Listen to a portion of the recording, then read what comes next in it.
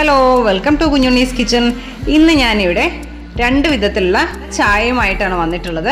ഒരു മസാല ചായയും ഒരു ലെമൺ ചായയുമാണ് ഞാൻ ഇവിടെ ഉണ്ടാക്കാൻ വേണ്ടി പോകുന്നത്. അതിനു മുൻപായി എന്റെ ചാനൽ ആരെങ്കിലും സബ്സ്ക്രൈബ് ചെയ്യാതെ കാണുന്നവരുണ്ടെന്നുണ്ടെങ്കിൽ പ്ലീസ് ഒന്ന് സബ്സ്ക്രൈബ് ചെയ്യണേ. തൊട്ടടുത്തുള്ള ബെൽ ബട്ടൺ കൂടി ഒന്ന് ക്ലിക്ക് ചെയ്യണം. അപ്പോഴാണ് എന്റെ വീഡിയോസിന്റെ നോട്ടിഫിക്കേഷൻ മുടങ്ങാതെ കിട്ടുകയുള്ളൂ. അപ്പോൾ നമുക്ക് വീഡിയോയ്ക്ക് കിടന്നാലോ?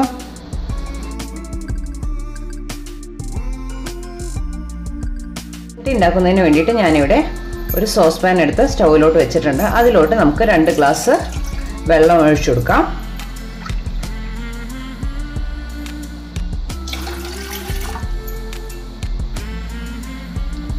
എന്നിട്ട് ഈ വെള്ളം ഒന്ന് തിളക്കട്ടെ.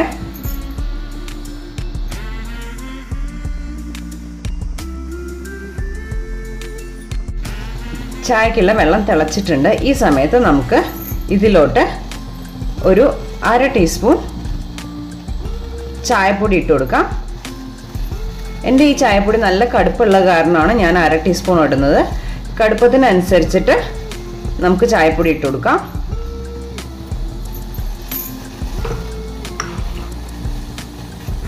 ഈ സമയത്ത് ഞാനൊരു മൂന്ന് നാല് പുതിനയുടെ ഇല ഇട്ട് കൊടുക്കുന്നുണ്ട്.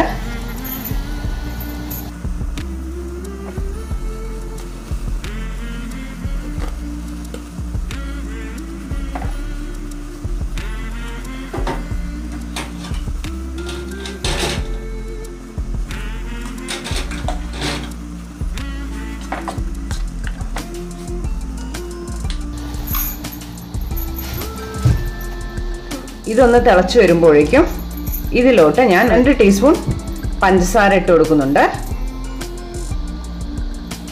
പഞ്ചസാരയും നമ്മളുടെ മധുരത്തിനനുസരിച്ച് ചേർത്ത് കൊടുക്കാം.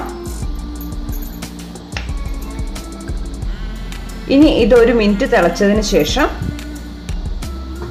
നമുക്കിത് അടച്ചു വെച്ചിട്ട് സ്റ്റവ് ഓഫ് ചെയ്യാം. എന്നിട്ട് ഇതൊരു പത്ത് സെക്കൻഡ് ഇതുപോലെ തന്നെ ഇരിക്കട്ടെ.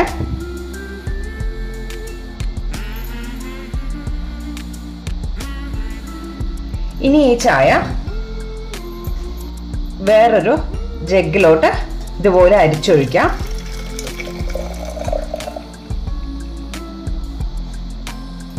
അതിനുശേഷം ഞാനൊരു ചെറിയൊരു കഷ്ണം ലെമൺ ആണ് എടുത്തിട്ടുള്ളത്. ലെമൺ നമുക്കിതിലോട്ട് പിഴിഞ്ഞൊഴിക്കാം.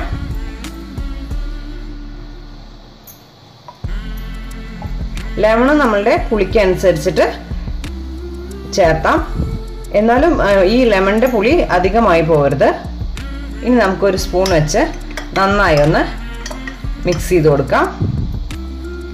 ഈ സമയത്ത് മധുരം കമ്മി ഉണ്ടെന്നുണ്ടെങ്കിൽ ചേർക്കാം. അങ്ങനെ നമ്മളുടെ ലെമൺ ടീ റെഡി ആയിട്ടുണ്ട്. ഇനി നമുക്കിതൊരു വേറെ സെർവിങ് കപ്പിലോട്ട് മാറ്റാം.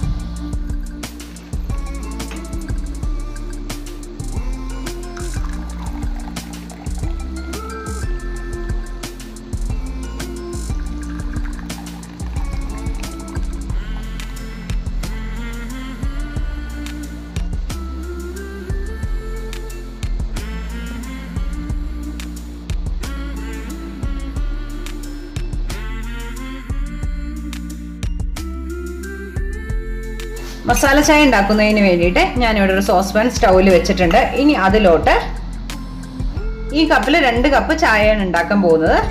അതിനു വേണ്ടി ഞാനിവിടെ രണ്ട് കപ്പ് വെള്ളം എടുത്തിട്ടുണ്ട്.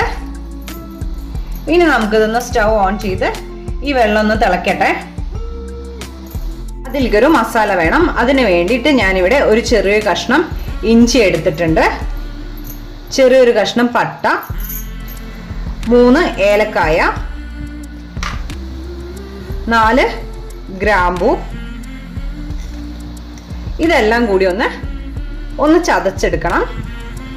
നമ്മൾ വെച്ച വെള്ളം തിളച്ചിട്ടുണ്ട്. ഇനി ഇതിലോട്ട് ഞാനൊരു രണ്ട് ടീസ്പൂൺ ചായപ്പൊടി ഇട്ട് കൊടുക്കുന്നുണ്ട്. ഇത് ചായപ്പൊടിയുടെ കടുപ്പത്തിനനുസരിച്ച് ഇട്ട് കൊടുത്താൽ മതി. കൂടെ തന്നെ നമ്മൾ നേരത്തെ എടുത്തു വെച്ചിട്ടുള്ള ഈ മസാല കൂടി നമുക്ക് ഇതിലോട്ട് ഇട്ട് കൊടുക്കാം. എന്നിട്ട് ഇതൊരു രണ്ട് മിനിറ്റ് നേരം ഇതുപോലെ ഒന്ന് അടച്ചു വെച്ചൊന്ന് തിളപ്പിക്കാം. ഇത് രണ്ട് മിനിറ്റ് നേരം നന്നായി തിളച്ചിട്ടുണ്ട്. ഈ മസാലയുടെ മണമെല്ലാം നന്നായി വരുന്നുണ്ട്. ഇനി ഇതിലോട്ട് നേരത്തെ വെള്ളം എടുത്ത് അതേ കപ്പിൽ തന്നെ ഒരു കപ്പ് പാൽ ഒഴിച്ചു കൊടുക്കാം.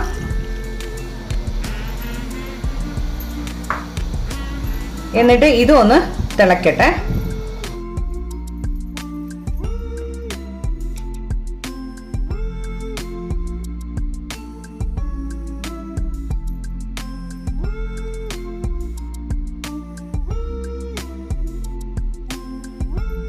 ഈ സമയത്ത് തന്നെ ഇതിലോട്ട് ആവശ്യത്തിനുള്ള പഞ്ചസാര നമുക്ക് ഇട്ട് കൊടുക്കാം.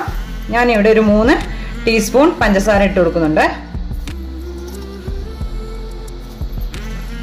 ഇത് നമ്മളുടെ മധുര മധുരത്തിനനുസരിച്ച് കൂട്ടിയും കുറച്ചും ഇട്ട് കൊടുത്താൽ മതി.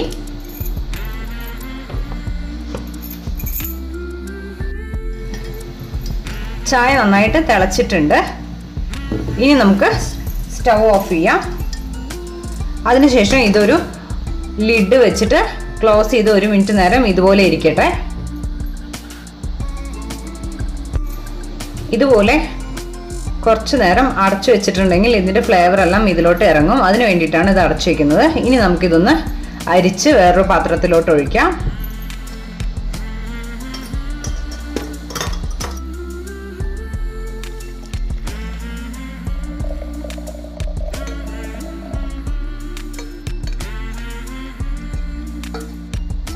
ഇതിൽ എനിക്ക് മധുരം കുറച്ച് കമ്മിയായതുകൊണ്ട് ഞാൻ ഒരു ടീസ്പൂൺ ഒന്നര ടീസ്പൂൺ മധുരം കൂടി ഇട്ട് കൊടുക്കുന്നുണ്ട്. എന്നിട്ട് ഇത് നന്നായി ഒന്ന് ഇളക്കി വേറൊരു സെർവിങ് കപ്പിലോട്ട് മാറ്റാം.